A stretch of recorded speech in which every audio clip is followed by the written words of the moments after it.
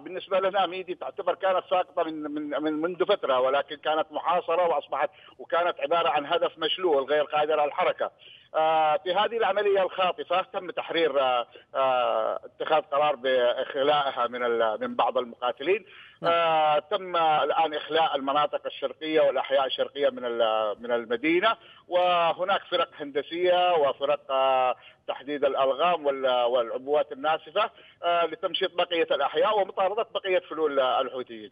نعم، ما الذي تهدف إليه المنطقة العسكرية الخامسة في استراتيجيتها العسكرية الجديدة؟ هل فقط استعادة مدينة ميدي أم آه، الانتقال أيضا إلى الحديدة كما آه، تهدف قوات الجيش الوطني بشكل عام؟ آه، في الحقيقة بالنسبة للاستراتيجية والخطة الموكلة إلى المنطقة العسكرية الخامسة هي تحرير الساحل الغربي وصولا إلى الحديدة نعم. بالنسبة لميدي مثل ما قلت في عدة مقابلات بأنها كانت عبارة عن مدينة هدف مشلول والآن تحريرها عبارة عن تحصيل حاصل قواتنا تعدت ميدي اصبح أصبحت تمشط على وادي حيران وأكثر من حوالي 15 كيلو جنوب جنوب ميدي على الساحل.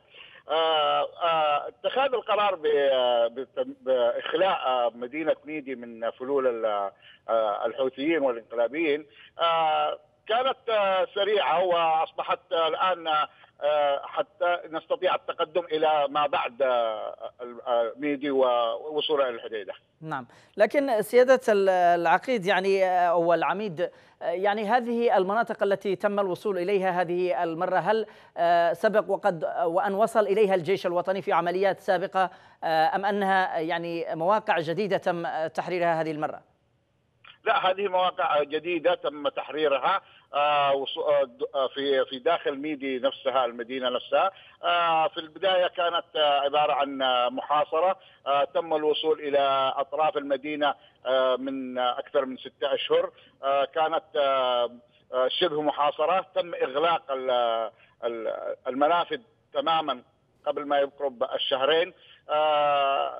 تم حصارها وتركها آه، حتى آه، أصبح الوقت مناسب لتحريرها بأقل بأقل خسائر. نعم، كيف تسير العملية العسكرية حاليا وسط آه، حقول الألغام التي زرعتها الميليشيا في جبهة ميدي الساحلية؟ فحقيقة الحقول حقول الألغام والعبوات الناسفة التي تم تفخيخ كثير من المباني التي داخل المدينة آه، يتعامل معها المهندسون في الفرقة في المنطقة العسكرية الخامسة فرق الهندسة تتعامل بصعوبة حقيقة في في في تفكيك مثل هذه الألغام والعبوات الناسفة التي تم تفخيخ كثير من المباني الحكومية وأيضا مباني المواطنين.